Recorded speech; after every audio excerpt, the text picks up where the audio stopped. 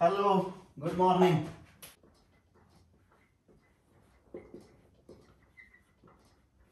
Yes, yes, sir.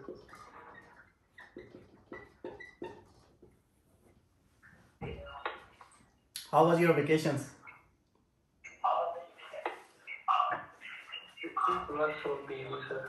Welcome to the course of discrete mathematics. And if you didn't hear about it before, I will give you a brief uh, introduction of this course that why we need this course. Whenever you go into a new class or something new, always there is a question in your mind that why do you need that thing? Why do you need to study this specific class? So, of course, you will have a question in your mind that why do you need to study discrete mathematics? All of you belong to this um, to the to the subject of computer science, and sooner sooner or later, you have to to to um, do uh, some kind of computer science coding, and everywhere in your coding in your programming you will be dealing with discrete mathematics. First question that why I need to study. So first of all, definitely there is a question in your mind that why I need to study this course. I already told you that this course genuinely belongs to your major. That's why they, they didn't offer this course to you in the first semester. First, they offered you some basic physics, some basic mathematics in your first and second semesters. Now, once you are done with the basics of those things, now in the third semester, they offered you this course. And that is the prerequisite of this subject. If you are going to study discrete mathematics, you are must to have studied already the advanced mathematics. If you have not studied advanced mathematics,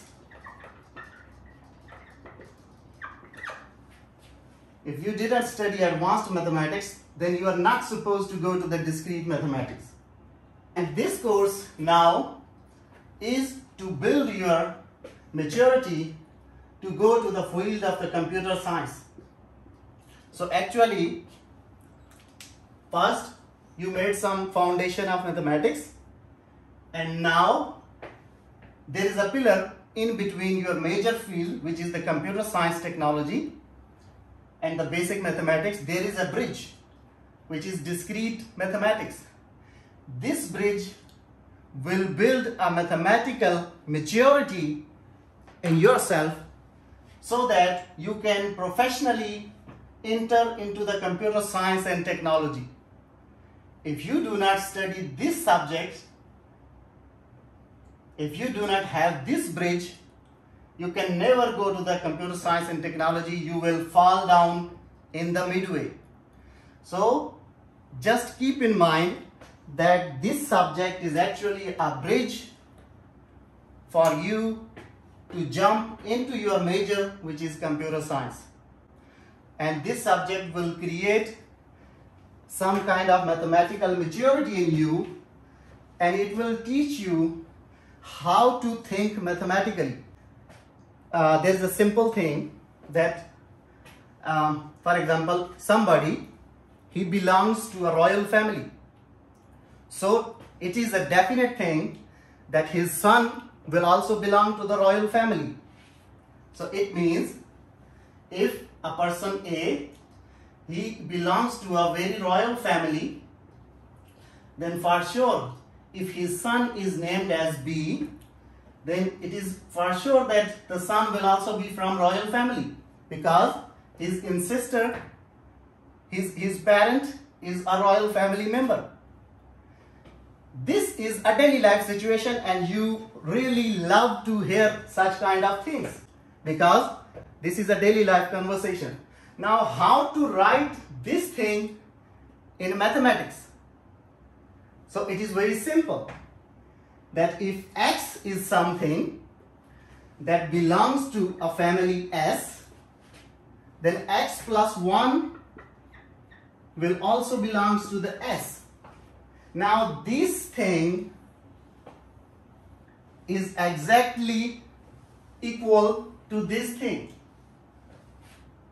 A person belongs to the family, royal family, so his son will also belong to the royal family.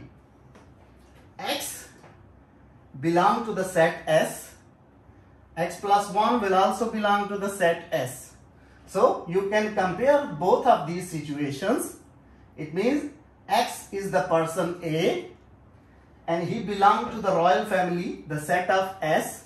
Then when X will produce a child, so that will be X plus 1, one child. Then of course X plus 1 will also belong to the family S. So the same situation, the daily life situation, we are writing it into a mathematical situation. This course is all about to teach how to write every situation mathematically. Now these two are similar, but for you, this is very interesting. The a, a father belongs to royal family, so the son also belongs to royal family. But when you write the same thing in mathematical way, this seems to be very boring because this is mathematics. Same is the example that if there is a person who is very hungry and he don't know about counting, he don't know about mathematics and you ask him a question, what is 2 plus 2? Since he don't know counting, so he will say, I don't know. But if you ask him that what is 2 bread plus 2 bread? And he will at once tell you that okay, 4 breads. So it means if the situation is like this, if the situation has some interesting factor, the daily life factor, it seems easy to us. But when the thing, same thing goes to the mathematics, it becomes boring. We are going to learn how to think mathematically and how to uh, convert a real life situation into mathematics. This course is going to build mathematical maturity in you. There is another example that if you want to print a book and you give the command and computer is printing the book for you, it's a very easy task. You just click on one button and the book is printing from the printer. Everything is smooth. It looks very easy. But if you ask from the computer that when you click the enter button of print command, what he is facing. He is facing a huge amount of computer science programming behind it, which is telling the compute the printer to okay do this do this do this every second. There is a command going to the com from computer to the printer and the printer gives you a printout. So physically the situation looks very simple just like this. But behind the scene the computer knows that how difficult it is for him to do the printing per second. So all these these things belong to the discrete mathematics. So now can you tell me what is the meaning of discrete? Some kind of relationship, sir. Sir, uh, discrete uh, is uh, what is individually separated. Yeah. Uh, you can identify separately. Okay. Okay. So your, your, your definition of discrete is okay. It is discrete. The word discrete, it simply means uh, uh, something separated, individual. So what you have to do in this course is very simple. First, there are two things. First thing is that if you want to become more logical, if you want to be want to think more logically, if you want to think mathematically, you have to do two things and these two things we are going to build up in this course. First is learn the language.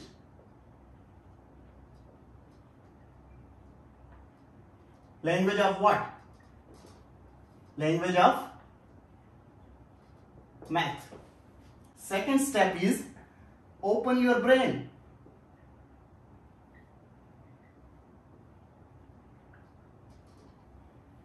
What does that mean? How you open your brain? Do you need a screwdriver to open your brain? Can you do that? I think so, sir. Can you open your brain by a screwdriver? No, sir. Okay, then how to open the brain?